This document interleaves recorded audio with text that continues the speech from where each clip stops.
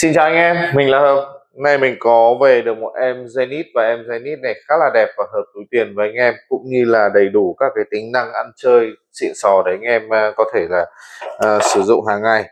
Uh, chiếc Zenith này của mình là một chiếc thuộc dòng Captain và em nó thì sẽ có tên là Zenith Captain Moonface với cái mã là 03.2143.691 gạch ngang 01.C498 với cái mã đó thì đọc lên thì các bạn sẽ thấy là một dòng chữ là 691 và chỉ vì trước này sử dụng caliber là 691 của Zenith các bạn nhé. Thông thường là các bộ máy của Zenith thì nó sẽ có ở trong uh, cái mã của nó luôn. À, chiếc này của mình là một chiếc qua sử dụng và nó còn hộp gỗ trong và nó còn sổ à, không còn thẻ. Đó tuy nhiên là chiếc này thì đét sẽ lanh quanh đâu đấy vào khoảng tầm 2018 2019 anh em ạ. À, chúng ta sẽ còn ở đây là một chiếc đồng hồ với thân thép và với cái mặt dial à, khá là hợp lý để anh em chơi. Size là của chiếc này đó nó là 40 mm các bạn ạ. Đó. mình sẽ trên tay chiếc uh, Zenith Captain Moonface đây để góc này thì anh em sẽ có thể uh, thấy full được những cái uh, option của chiếc đồng hồ này các bạn có thể thấy là trên tay mình đây là một chiếc đồng hồ với size là 40mm và độ dày của chiếc này thì chắc là nó khoảng tầm là 10.5 đến 10.9mm gì đó. À, rất là dễ đeo và càng lắc tu lắc của của chiếc đồng hồ này nó khoảng tầm 46 đến 47 mm cũng là một trong những cái càng ngắn. À, logo Zenith thì các bạn thấy ở góc 12 giờ. Đó ngay phía bên cạnh phía bên dưới giữa cọc 1 và 2 giờ thì chúng ta sẽ có đây là ô lịch ở ô lịch trên chiếc này là ô lịch Big Date các bạn nhé ở góc 6 giờ thì chúng ta sẽ có một cái sắp đây ở moon phase rất là lớn và hiện tại thì nó đang à, không có moon phase ở đây. Mình sẽ chỉnh cho anh em xem. Và góc 9 giờ thì chúng ta sẽ có đó là sắp đều là small second kim dây nhỏ. À, kim lớn à, hai cái kim của chúng ta và cọc số thì có chung một thiết kế. À, để đẩy cái môn phây ra thì chúng ta sẽ chỉnh ở đây các bạn nhé. Các bạn sẽ ấn mỗi lần mà tương ứng với một ngày. Đó mình sẽ để cái môn phay nó ở giữa này rất là dễ để anh em có thể theo dõi được. À, về thiết kế thì đây là một trong những cái dòng mà đặc trưng của uh, dòng uh, Captain của uh, Zenith với một bộ thân case được thiết kế rất là nam tính và đẹp.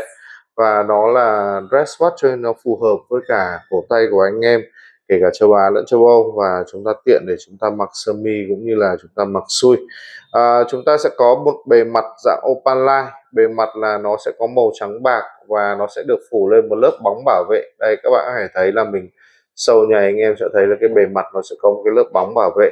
Đó. Kính là kính sapphire dạng lồi glass box cao hơn hẳn so với phần thân. Và cái kính này của chúng ta thì sẽ có phủ chống lóa trong ngoài khiến cho mặt đồng hồ của chúng ta trong vắt rất là đẹp đó, khi mà các bạn xoay về hướng nắng thì cái màu trắng bạc của cái mặt số này thì nó sẽ sáng hơn. Đó. phía bên phải thì chúng ta sẽ có cái núm chính với logo hình ngôi sao của Zenith và đằng sau là bộ máy caliber 691 à, ờ, caliber này là in-house movement của Zenith à, và em nó sẽ được thiết kế với một cái thiết kế đặc trưng của Zenith. Đó các bạn có thể thấy là cái củ văng với cái hình ngôi sao rất là lớn của Zenith ở đây với những cái vân sổ dọc và được làm skeleton một phần để có thể là nhìn được bộ máy ở phía dưới. Ở đây thì chúng ta sẽ có balance wheel.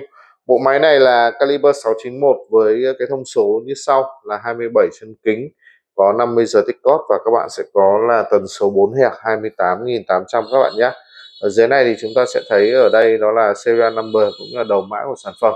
Đó. À, đi kèm thì trước này thì có một sợi dây như các bạn thấy ở đây dây da B và nó còn rất là đẹp tình trạng còn đó, các bạn thấy là tình trạng còn khoảng tầm 90 đến 95 phần trăm.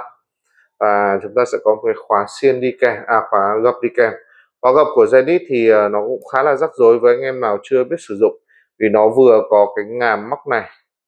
Đây, các bạn vừa thấy chúng ta vừa có cái lưỡi gà ở đây và chúng ta lại vừa có cái nút bấm ở dưới. Thì để sử dụng cái này thì rất là dễ. Các bạn sẽ cho cái lưỡi gà vào trước. Ví dụ như chúng ta đeo nấc cuối cùng thì lưỡi gà các bạn sẽ phải chọc vào cái nấc trên này các bạn nhé. Đây. Các bạn có thể thấy là lưỡi gà chúng ta bỏ vào nấc thứ hai. Đó. Và lúc đó thì sẽ vừa khít cho cái này nó vào cái nấc trên cùng. Đó đó là tay bạn là ở nấc trên cùng. Thì chúng ta sẽ đeo như vậy. Và đây là một chiếc uh, Zenith khi mà chúng ta đeo full dây vào như vậy. Đó. Bạn thấy là với cái khóa này thì anh em đeo sẽ rất là dễ dàng hàng ngày à, chiếc Zenith này có giá retail khá là cao với uh, tính năng là Moonphase cũng như là Big Date và bộ máy in-house thì giá retail của nó là 6.950 đô. Vì Zenith là thương uh, một thương hiệu tầm trung cho nên cái mức giá đó là mức giá tầm trung cũng khá là dễ hiểu với những cái tính năng mà xịn sò như này. À, cộng với việc nó là sử dụng thân thép nữa cho nên là mức giá nó sẽ trong tầm như vậy. À, 6.950 đô nếu các bạn nhân ra thì nó khoảng tầm 175 triệu tiền Việt. Còn chiếc đồng hồ mình đang có trên tay đây thì chiếc này thì mình bán đúng số lẻ luôn, là 75 triệu.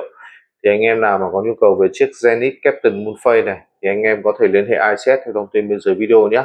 Cảm ơn em rất là nhiều đã theo dõi video và sẽ hẹn gặp lại trong video tiếp theo của chúng tôi. Xin chào và hẹn gặp lại anh em.